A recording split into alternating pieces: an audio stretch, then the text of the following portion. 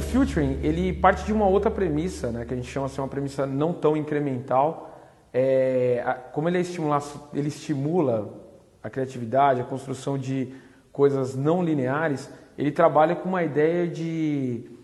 de construir visões de inovação a partir de coisas que saem do senso comum ou de formações de, do que é hoje, do que nós conhecemos hoje. Ele, ele extrapola esse senso é, comum da criação, desse que até mesmo muitas das vezes a coletividade, é, a congregação acaba levando por causa dessa formatação que as pessoas tendem a fazer para chegar em algo comum, em algo que seja possível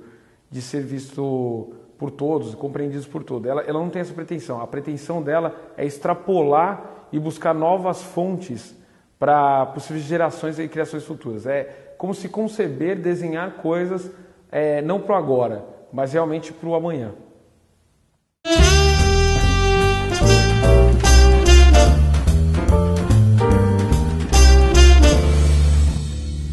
É, é, é, muito interessante porque as, as pessoas sempre perguntam assim, poxa, mas o que é o futuro, né? O futuro pode ser aquilo que nós acreditamos que ele vai ser e a partir daí as nossas crenças façam com que ele exista é, e nós concretizamos isso num, determinado espaço-tempo. É, o futuro pode ser uma realidade imaginária que nunca você vai atingir, mas você mantém ele como um foco, como um guia para estimular a, a vida, estimular as pessoas, estimular tudo ao seu redor, a relação que você tem com o, o dia, o seu dia a dia. É, e você também imagina o filtering como uma construção é, espontânea e que vai surgindo essa, é, esse mosaico, esse patchwork social onde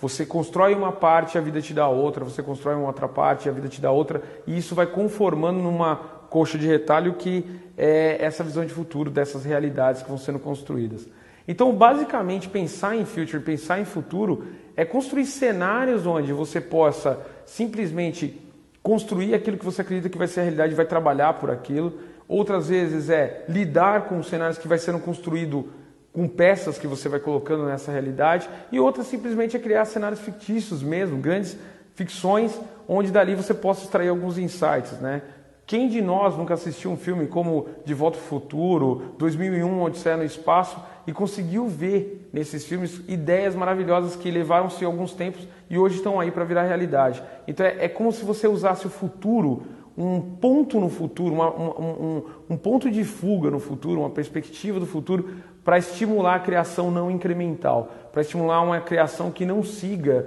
uma tendência, totalmente uma tendência de hoje. Então, utilizar esses conceitos, esses modelos de future, de modelar o futuro, é uma proposta de construir coisas novas, estimular o aprendizado, a criação a partir de uma nova visão, de um novo ponto de fuga, um novo ponto de referência.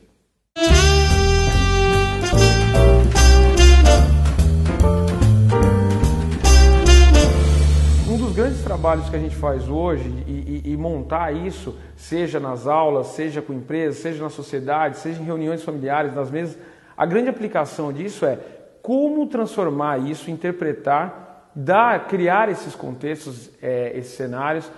trazer isso para uma linguagem onde todos sejam convidados a discutir, a participar e a trabalhar de forma em cima disso a geração de ideias e a construção de coisas de valores que vão atender um determinado tempo. Não necessariamente precisa ser o tempo desenhado, mas que ele possa ser criado para um futuro, seja o futuro amanhã ou daqui mil anos. Então a ideia é muito próxima de conceber é, grandes filmes, entender essa visão que um filme traz, mas além de só simplesmente ser, assistir um filme, é a partir dali começar a construir coisas, usar esses estímulos para construir coisas para o agora, para o momento que vai transformar é, essa sociedade para uma nova visão. Não necessariamente para aquela visão de futuro totalmente, mas de estímulos para que a sociedade possam criar coisas distintas ou saiam do pensamento reprodutivo, de um pensamento cíclico, ou do, e vá para uma linhagem de pensamento muito mais espontâneo, criativo